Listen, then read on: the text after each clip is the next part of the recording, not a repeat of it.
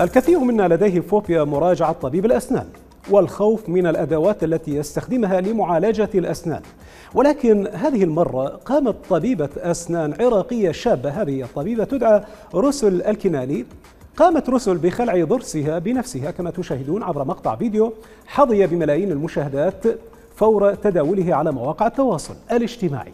وظهرت الطبيبة في مقطع الفيديو هذا وهي تعطي لنفسها حقنة المخدر ثم قامت بخلع ضرسها بنفسها كما تشاهدون وقالت الطبيبة في تعليقها على تصرفها هذا آه، لأول مرة في حياتي أجرب القلع وتكون على إيدي شعور مخيف ويحتاج شجاعة ولكن شعور ممتع لأني أتحكم بقوة القلع لنتابع مقطع الفيديو الرائج.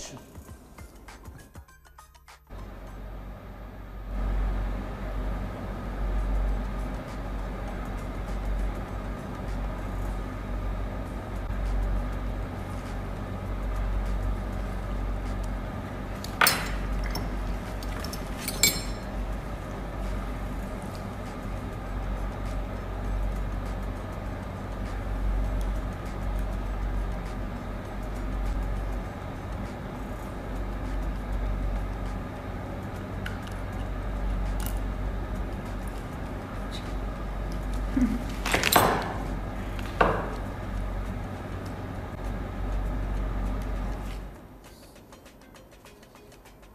أوضحت طبيبة الأسنان الشابة عبر تغريدة لها على تويتر هذه التغريدة أن ما قامت به تجربة جميلة جدا والغرض منها لتعرف شعور المرضى حتى تكون أكثر لطفا معهم. هذا هو نص التغريدة تقول فيه لأول مرة في حياتي أجرب القلع وتكون على إيدي وشعور مخيف ويحتاج شجاعة لكن شعور ممتع لأني أتحكم بقوة القلع. تجربة جميلة جدا وغرضي منها كان أعرف شعور المرضى عشان أكون أكثر لطفا معهم.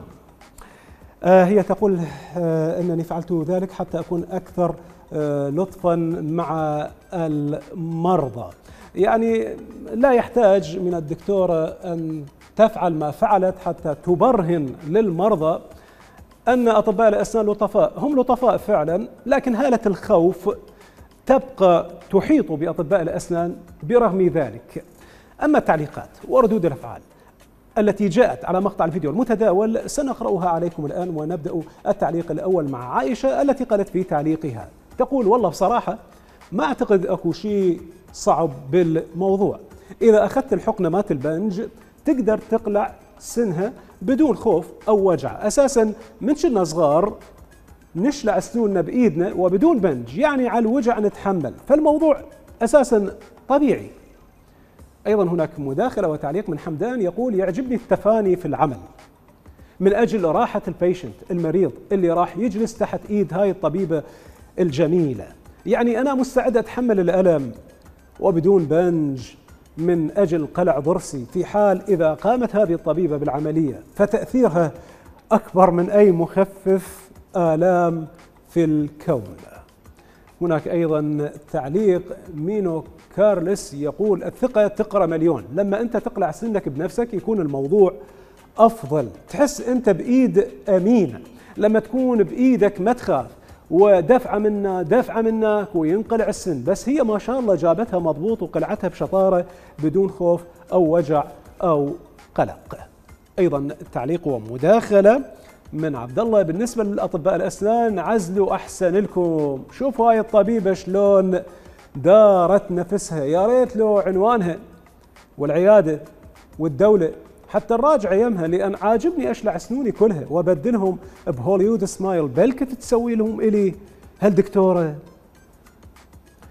هنا تعليق من مرتضى يقول أحس الموضوع بي show واستعراض من أجل المشاهدات. وتالي حتى الأطباء يدورون طشه وتالي ويا ال social media اللي خبل العالم. هاي عود ذول الشريحة المثقفة والمتعلمة واللي من المفروض ما يتأثرون بهاي الأمور.